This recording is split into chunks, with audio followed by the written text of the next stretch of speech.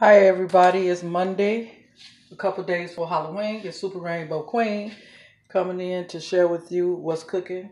A quick peek of what's cooking in my place. This is gravy that I made. Let me show you what I used.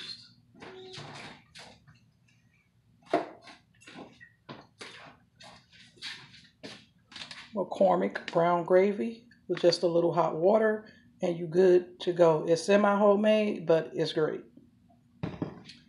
Then I have some chicken tenders that I marinated in some Mojo marinade from the Dollar Tree. My friend told me about it. It's the bomb.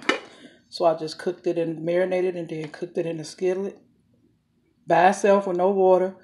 Flipped it on each side. And the bits that was left over, I left it in there inside the gravy. So that's what that looks like. And I'm going to put this inside here in a minute. Then I made some great value macaroni cheese. This is my first time using great value brand and it's good actually, you guys. So that's what that looks like. And it's good. Of course I added my extra cheese and my own little seasonings and everything like that, but so I just came in real quick to give you a peek at what's cooking at Rainbow's place. So we're going to take this chicken and put it in here and let it cook. Let it marinate. Not marinate, let it simmer on low while I wash my dishes up.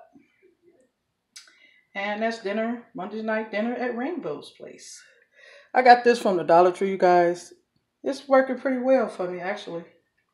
So, you guys have a blessed day, and I'll see you in the next video. Bye.